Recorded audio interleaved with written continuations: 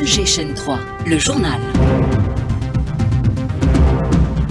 Déclaration conjointe à la presse du président de la République Abdelmajid Tebboune avec son homologue sud-africain Cyril Ramaphosa suite à leurs entretiens. Ils ont, il en ressort une évaluation globale des relations bilatérales et le forum d'affaires algéro-sud-africain a permis d'ériger des ponts euh, de coopération économique entre les opérateurs euh, économiques des deux pays, déclare euh, Abdelmajid Tebboune. Il a par ailleurs indiqué qu'avoir eu une discussion approfondie avec le président Cyril Ramaphosa sur les questions d'actualité, notamment l'agression sioniste contre Raza, saluant l'action intentée par l'Afrique du Sud devant la Cour internationale de justice, le chef de l'État a assuré que l'Algérie euh, que l'Algérie la soutient pleinement dans cette démarche. Le droit du peuple sahraoui à l'autodétermination a été réaffirmé. Les deux dirigeants ont également eu un échange de vues et concernant les derniers développements au Sahel, en Libye et en Afrique centrale. Ces entretiens euh, font ressortir une convergence, de, vues entre les deux pays qui privilégient les solutions politiques loin des actions euh, des ingérences étrangères. Son côté, le président sud-africain a qualifié de réussi les travaux de la 7e réunion de la haute commission mixte de coopération qui constitue, dit-il, un mécanisme qui permet de renforcer la coopération bilatérale mais aussi au plan continental dans le cadre de l'ASLECAF. Un peu plus tôt, le président de la République a co-présidé avec son homologue sud-africain la cérémonie de signature de mémorandum d'entente entre les deux pays dans plusieurs secteurs. Les deux chefs d'État ont signé à l'occasion la déclaration commune de partenariat stratégique entre l'Algérie et l'Afrique du Sud. Parallèlement, nous parlons également, euh, parallèlement à tout cela, nous parlons également et toujours en rapport avec l'Afrique du Sud, euh, du Forum économique euh, Algérie-Afrique du Sud et de la conférence africaine des startups. La complicité du Maroc dans le génocide à encore une fois établie. Un cinquième navire américain transportant des armes destinées à l'entité sioniste a accosté au port de Tanger, révèle le, le mouvement BDS. Mesdames, Mesdemoiselles, Messieurs, bonsoir. Merci de vous joindre à nous. L'actualité de ce vendredi marquée par euh, la visite d'État qu'entreprend depuis hier soir en Algérie le président sud-africain Cyril Ramaphosa euh, qui répond à une invitation du chef de l'État. Tout un dossier dans ce journal. Pour commencer, retour sur la déclaration conjointe à la presse du président de la République avec son homologue sud-africain euh, qui fait suite aux entretiens qui les ont réunis. Le président de la République est revenu sur la septième réunion de la haute commission bilatérale de coopération. Il a relevé la particularité des relations historiques entre les deux pays fondés, dit-il, sur euh, une étroite coopération et confirme le caractère stratégique des relations entre l'Algérie et l'Afrique du Sud. Parallèlement à cette haute commission, le président de la République a évoqué le forum d'affaires algéro-africain euh, qui permet, dit-il, d'ériger des ponts de coopération économique entre les opérateurs économiques des deux pays, estimant que la signature d'un accord de coopération stratégique euh, et de cinq mémorandums d'entente entre les deux pays a vocation de les renforcer davantage. On écoute le président de la République.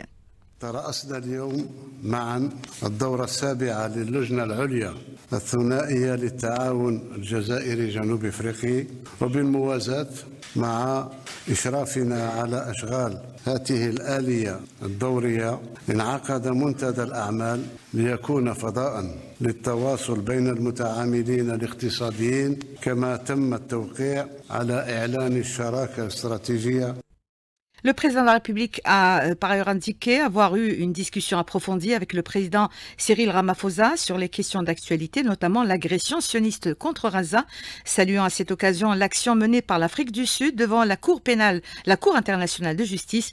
Le président de la République a assuré que l'Algérie la soutient pleinement dans cette démarche. On l'écoute. كان لنا حديث معمق حول الوضع الإقليمي والدولي الراهن خاصة العدوان الصهيوني على قطاع غزة ولبنان وأغتنم هذه الفرصة لأحيي مرة أخرى الدعوة التي رفعتها جمهورية جنوب إفريقيا لدى محكمة العدل الدولية ونساندها مساندة كاملة. Les entretiens bilatéraux entre les deux dirigeants ont également porté sur la nécessité d'intensifier les efforts au sein des Nations Unies, mais aussi au sein de l'Union africaine pour renforcer le rôle du continent à travailler pour répondre à l'exigence africaine visant la réforme du Conseil de sécurité, le président de la République.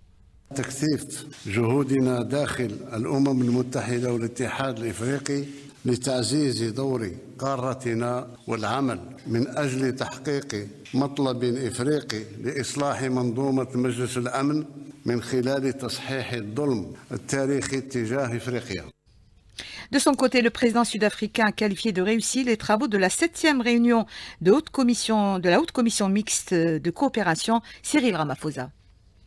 لقد اختتمنا إذا بنجاح أشغال اللجنة المشتركة السابعة بين حكومتينا.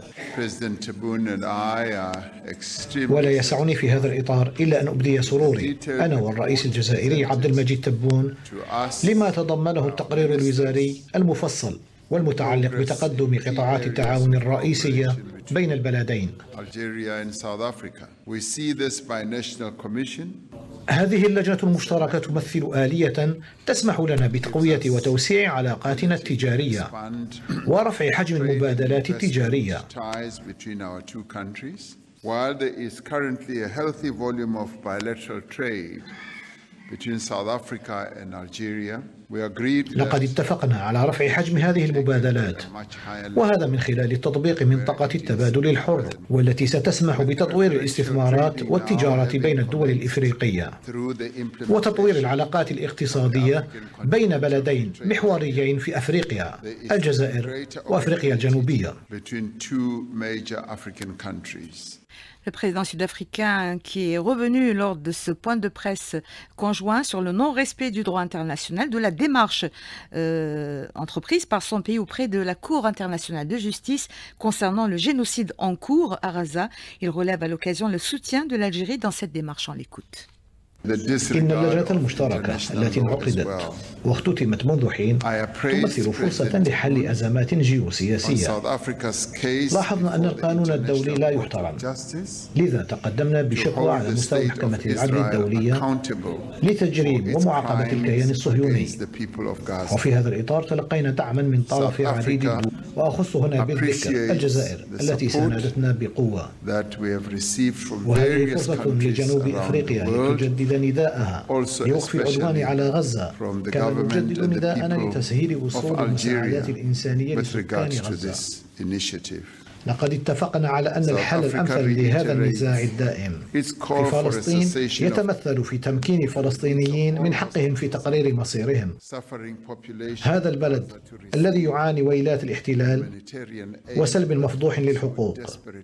هي فرصة نجدد من خلالها تضامننا مع كل الشعوب والدول المضطهدة عبر العالم كفلسطين والصحراء الغربية.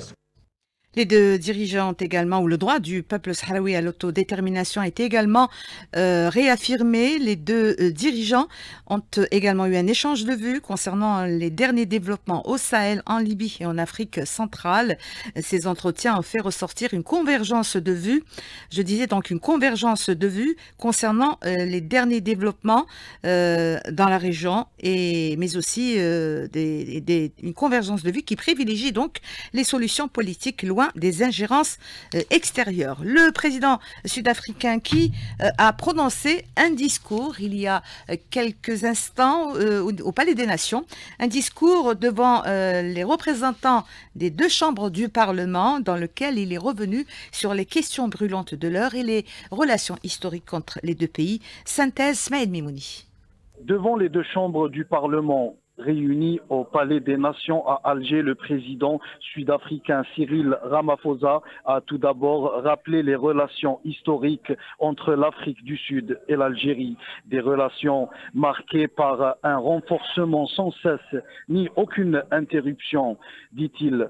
Pour Ramaphosa, il s'agit de liens de fraternité et d'amitié tout en réitérant que les deux pays partagent les mêmes positions et ambitions communes aujourd'hui en 2024 et cela pour aller encore de l'avant et marcher avec des pas sûrs et solides vers une coopération bilatérale prometteuse. Surtout que la volonté des dirigeants des deux pays favorise cela et sont au rendez-vous pour soutenir la coopération entre les deux pays et dans tous les domaines. Et dans un autre contexte et abordant les questions de l'heure dans le monde, Ramaphosa n'a pas manqué d'évoquer la situation en Palestine.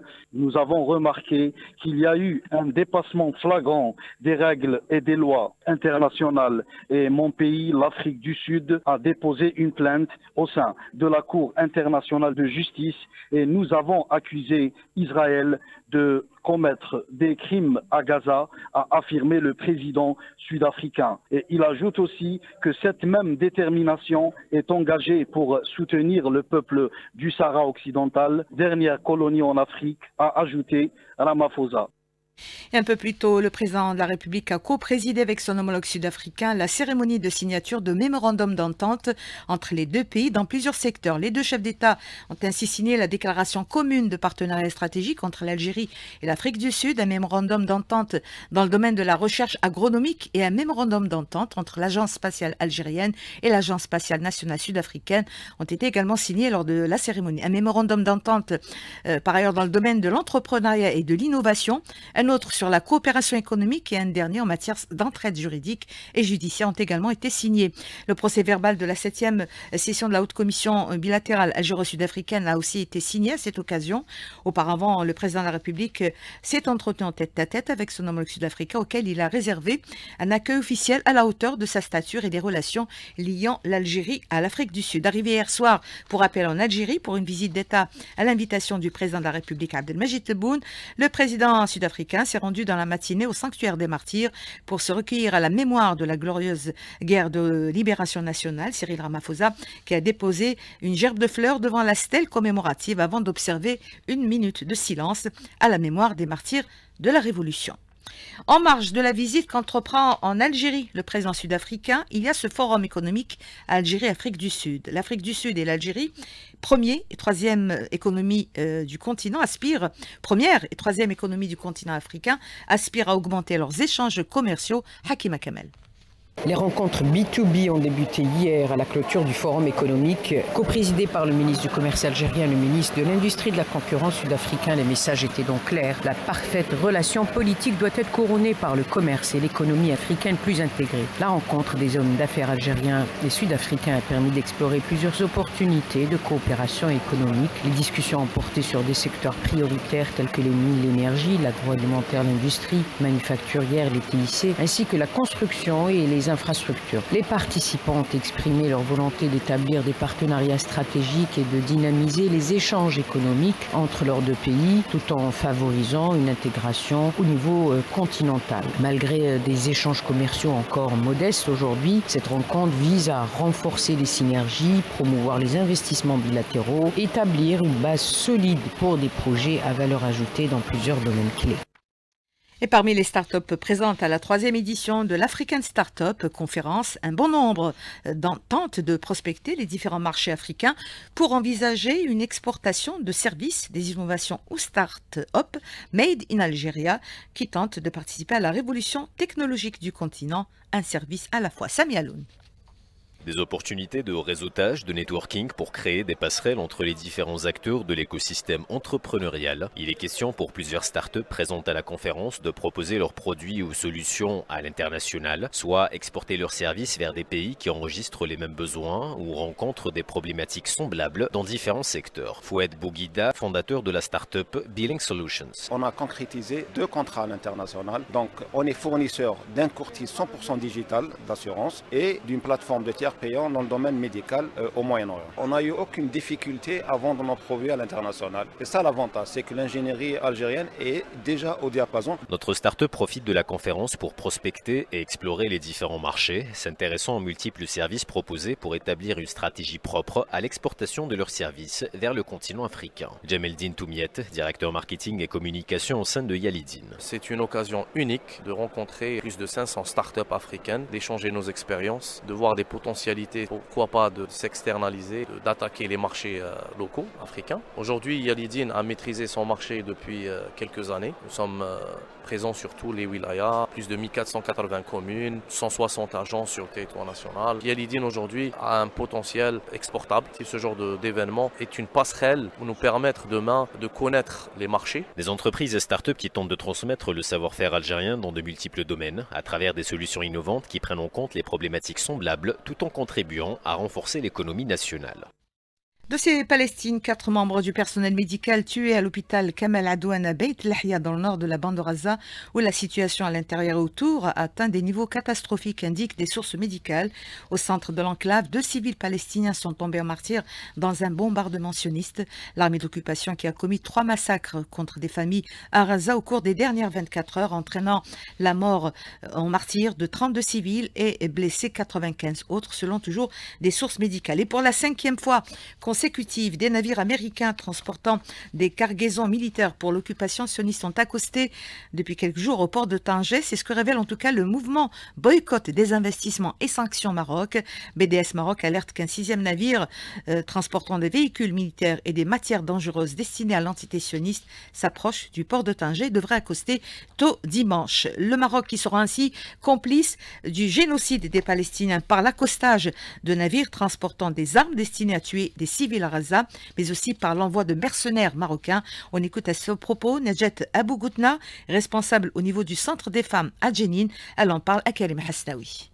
Ces armes sont utilisées pour tuer les Palestiniens. Le gouvernement marocain est complice avec ce régime, sont complices avec cet État barbare, avec cet État d'Israël qui veut prendre toute la terre des Palestiniens. C'est malheureux aussi de voir 112 gouvernements laisser des mercenaires qui participent dans cette guerre contre les Palestiniens, surtout dans la bande de Gaza. On a des exemples des Marocains qui participent contre les Palestiniens de Gaza et en Palestine. Le Maroc qui euh, se trouve euh, parallèlement dans l'incapacité de respecter ses obligations internationales, c'est ce que révèle le Comité des Nations Unies contre la torture dans son nouveau rapport. Le Maroc qui fait fi de toutes les décisions du comité concernant la détention arbitraire des deux détenus sahraouis, Abdallah euh, Abahah, Mohamed Bouriel, et ses pratiques de torture, mais aussi de mauvais traitements dans ses prisons. L'Observatoire national, l'Observatoire international de surveillance des ressources naturelles du Sahara occidental, Western Sahara Resource Watch, a mis en garde contre les risques juridiques et de réputation pour les multinationales qui auraient manifesté leur intérêt de participer au projet marocain de transport de l'énergie produite au Sahara occidental occupé par le Maroc. L'Observatoire rappelle que la plus haute cour de l'Union européenne a conclu que le Sahara occidental est séparé et distinct du Maroc et que le Maroc n'a aucune souveraineté ni mandat d'administration sur le territoire.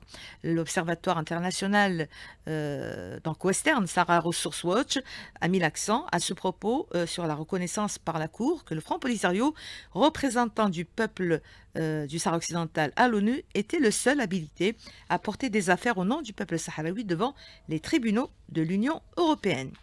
Direction la France, la crise des institutions s'approfondit davantage au lendemain du discours du président Emmanuel Macron. L'impasse politique est le fruit du narcissisme et l'inconséquence d'Emmanuel Macron, affirment les médias français qui dénoncent le spectre d'une France sans budget en 2025. C'est une crise non pas seulement des institutions de la Ve République, mais une crise du système politique, explique François Géré, directeur de l'Institut français d'analyse stratégique. Il en parle, il en parle Hasnaoui.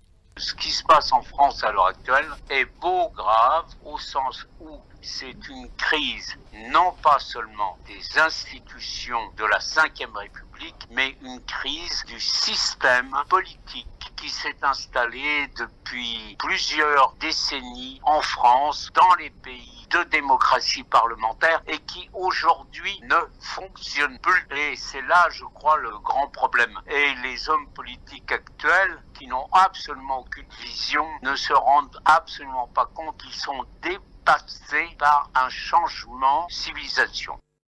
Tout à fait autre chose, on va s'intéresser aux habits de cérémonie portés dans la région est de l'Algérie et qui sont aujourd'hui désormais inscrits au patrimoine culturel immatériel de l'UNESCO.